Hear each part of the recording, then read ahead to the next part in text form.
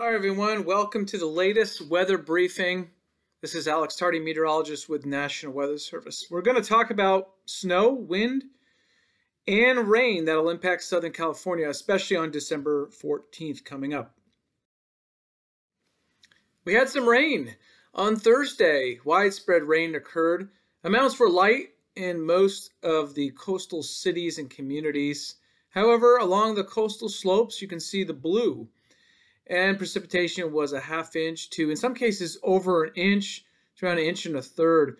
It was welcome rain, um, really needed. Fire weather conditions after a dry and very warm November have been critical of late. So this was perfect timing. Here we are in December, well into the water year. What's been going on this fall? Why so warm and dry? Upper level high pressure in response to a stationary deep upper level low or cold pocket of air in the Gulf of Alaska. The battle between those two, well, that's the red line, and that's been where atmospheric rivers have been persistent from Hawaii up to Seattle and British Columbia. Now, our troublemaker upper level high has been shifted into the central Pacific as shown here. This map, by the way, is an average of the weather conditions from October 1st through early December. The weak storm that went by yesterday looked like this. It was a fast moving storm coming from the northwest along that red line shown there. The cold air in the Gulf of Alaska that has been nearly stationary for a couple months, part of that's going to come down. It's going to come down like this on Monday. That'll set the stage for a deep upper level trough strong wind flow where you see all those lines together, creating a hose as it taps into tropical moisture to the south and focusing that on Northern California. That'll develop the precipitation rapidly and widespread on Monday. For us in Southern California, it'll take until Tuesday, and then that upper level trough or cold pocket of air will modify some, open up, and swing across Southern California. We'll still get a shot of cold air, We'll still get part of that atmospheric river and we'll get the wind, those tight lines as they go across Southern California where that arrow is pointed to. Speaking of atmospheric river, there is the potential for a broad, not necessarily narrow and intense, but a broad plume of moisture being transported up into Southern California. It looks like especially on Tuesday, Tuesday afternoon and Tuesday night. The winds will be strong too. It looks like the orange shaded and red shading, that's where areas will exceed 50 miles per hour. I think our primary concern will be the San Bernardino Mountains and the coastal desert slopes adjacent to that. Other areas will be windy, so do anticipate windy conditions along the coastal cities. But for damaging high impact winds, we got to watch the mountain crests, the ridges, and the downsloping desert areas and that'll include all the mountain passes. So this upcoming storm on Tuesday, what will it bring? It looks like the precipitation will be widespread heavy with even spillover into the deserts. So we're calling for one to two inches across all the urban areas, all the coastal cities and inland valleys.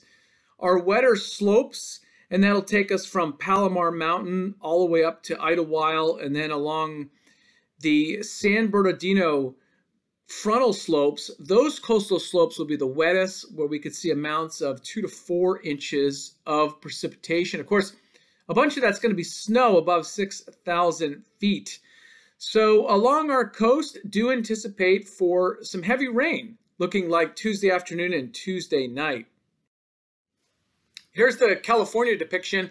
You can see across the state of California, this is going to be largely very beneficial to the drought situation not improving it greatly and not removing it, but beneficial nonetheless. Sierra Nevada area, we're talking precipitation amounts of 5 to near 10 inches of water. Of course, a lot of that's going to be snow. Do we get more storms? Well, the storm we just saw kind of opened the door coming in from the northwest, and it does look like another shot a weaker and you can see the storm is split based on those lines. A weaker system coming through late next week, looking like on Friday for some precipitation, keeping cool air in place. What about beyond that? Right before Christmas, there's the potential for another upper level trough, kind of the same path coming from the northwest.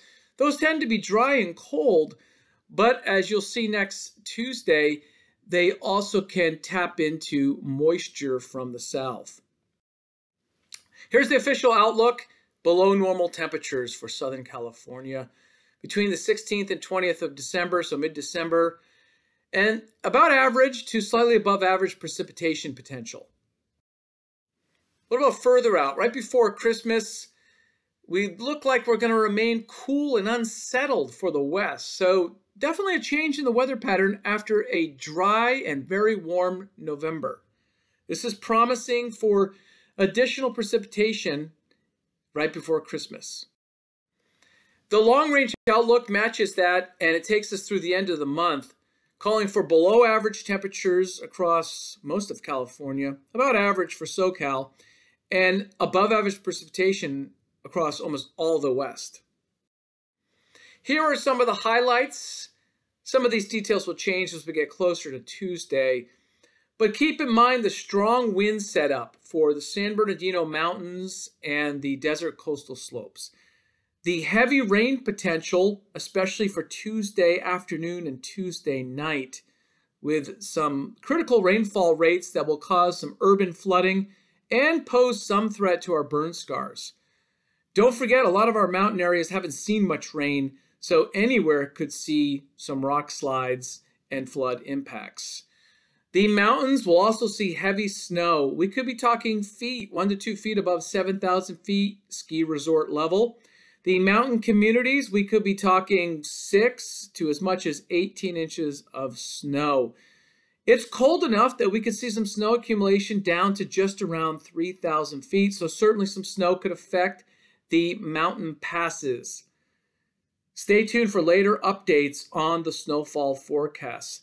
And for our urban areas, mostly nuisance flooding, but too much rain at once, particularly in Orange County and the Inland Empire areas, could cause some urban and small stream flooding. So all those dry creeks and channels will be flowing as early as Tuesday afternoon. Some alerts that may be issued, ones that you need to be aware of. The watch, that's the first product, long lead time for planning, meaning the potential is there. The warning, well, that means we've upgraded the watch and it's urgent. This is the highest level and it's likely imminent, so occurring now or very shortly in the next day or so. The advisory, that's also imminent, but it's for lower impact. It means it's for areas prone to flooding, prone to wind, areas where people may not take any precautions and still get into trouble and have problems. So keep these in mind as we move forward towards this storm. Here are the highlights. November had no precipitation, so this is a pattern change for sure. It looks like it'll be with us through much of December, but this main storm looks to be early next week, and we are targeting where the arrow is Tuesday and Tuesday evening for the brunt of the heavy snow, heavy rain, and those high winds. Those high winds affecting the mountains and desert slopes. Potential for one to two inches even in the urban metro areas, our coastal cities, our mountain communities, could see significant snowfall, um, certainly between 6 and 18 inches up around 6,500 feet. Overall, this pattern change, like discussed, looks like it could continue, at least with additional storm potential for mid to late December. Thanks for tuning in. Most importantly, check our watches, warnings, and advisories that will be posted in real time at weather.gov. You can also follow us on Twitter and Facebook, and we'll post latest snowfall latest wind, latest rainfall predictions, and of course, what has already occurred across Southern California. Stay safe, everyone.